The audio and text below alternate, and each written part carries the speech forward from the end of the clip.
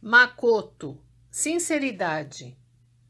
O Makoto é a chave que resolve todos os problemas do mundo, da nação e dos indivíduos.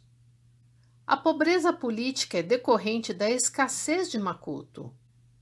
A carência de recursos materiais tem origem na ausência de Makoto.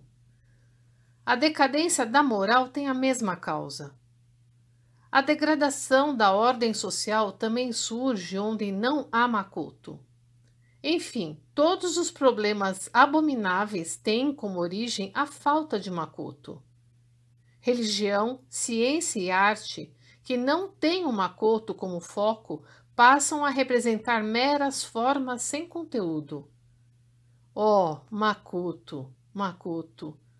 Homens, a chave da solução dos problemas está unicamente no Makoto.